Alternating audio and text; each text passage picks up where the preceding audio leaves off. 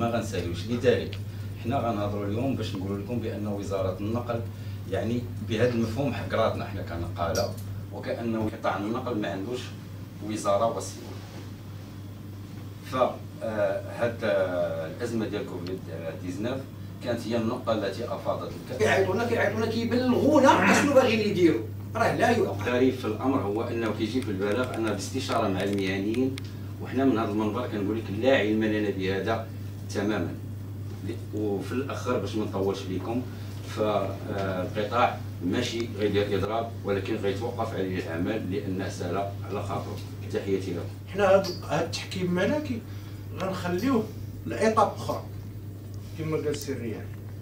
شوفوا مشكلة الداخليه الداخليه راه ما نعساش على ودنها لأن نهار الاثنين راسلنا حنا نهار الاربعاء هو خرج ببلاغ Euh, Aujourd'hui, le, le mardi 22 septembre, euh, il, y a, euh, il y avait une conférence de, presse concernant euh, certains problèmes liés au secteur transport, notamment euh, une lettre qui a été adressée au ministère de l'Intérieur sur les points qui n'ont pas été respectés euh, lors euh, de la levée du- de la grève avec euh, le ministère du Transport. Aujourd'hui, le secteur transport connu une, une paralysie totale concernant, concernant son corps, du fait euh, il y a des problèmes financiers, des problèmes au niveau des chauffeurs, des problèmes au niveau des fournisseurs, tout ce qui est paiement de gasoil, pneumatique, tout ce qui est impôts, vignettes. Donc il y a d'énormes dépenses euh, que l'entreprise n'a pas les moyens de, les payer.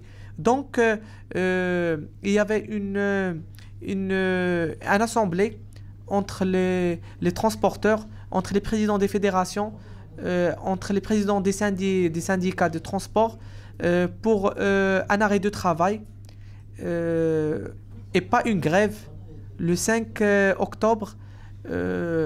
Euh, on attend toujours une réponse euh, avant cette date-là du ministère euh, de l'Intérieur pour qu'il ne résolve ces problèmes, pour qu'il n'y ait pas des pertes au niveau de l'économie et aussi au niveau de ce problème qui est lié à, ce, virus.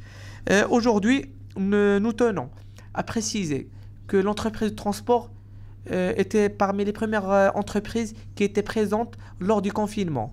Lors où le, citoyen marocain était assis chez lui, il recevait toute la marchandise euh, sur tous les niveaux, surtout le Maroc, contrairement aux autres pays.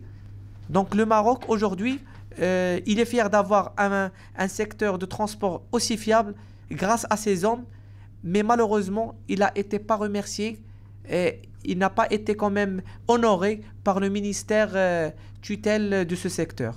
Et merci.